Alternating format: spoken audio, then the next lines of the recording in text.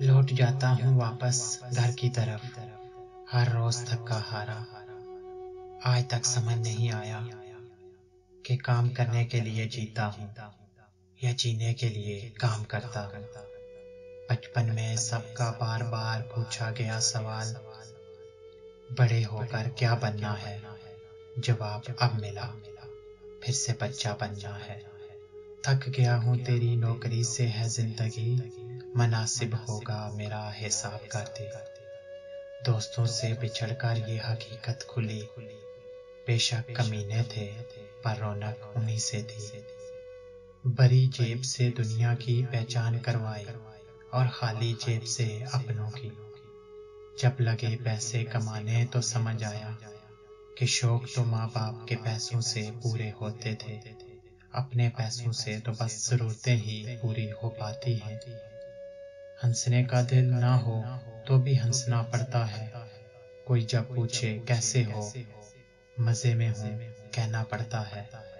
یہ زندگی کا ڈرامہ ہے دوستو، یہاں ہر ایک کو ناٹک کرنا پڑتا ہے۔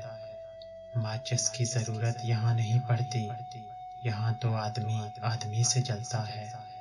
دنیا کے سائنٹسٹ ڈھونڈ رہے ہیں کہ موریخ پہ زندگی ہے یا نہیں۔ پر آدمی یہ نہیں ڈھونڈ رہا کہ زندگی میں خوشی ہے یا نہیں۔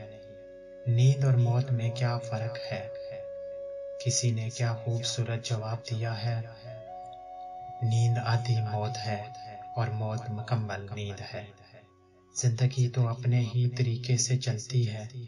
اوروں کے سہارے تو جنازے اٹھا کرتے ہیں۔ صبح ہوتی ہے، شام ہوتی ہے، عمر یوں ہی تمام ہوتی ہے۔ کوئی رو کر دل بہلاتا ہے اور کوئی ہنس کر درد چھپاتا ہے۔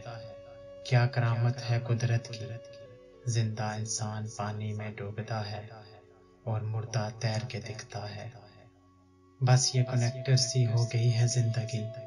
سفر بھی روز کا ہے اور جانا بھی کہیں نہیں۔ ہر سوال کا جواب میں ڈھونڈتا رہا اور اپنے کمرے میں جاتے ہی جواب مل گیا۔ چھت نے کہا، اونچی سوچ رکھو۔ پنکھے نے کہا، ٹھنڈے سے رہو۔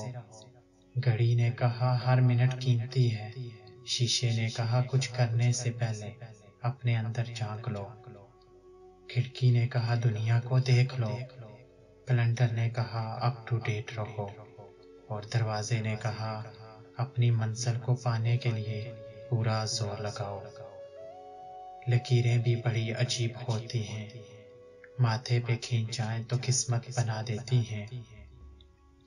زمین پہ کھینچ جائیں تو سرحدیں بنا دیتی ہیں۔ کھال پہ کھینچ جائیں تو خون ہی نکال دیتی ہیں۔ اور رشتوں پہ کھینچ جائیں تو دیوار بنا دیتی ہیں۔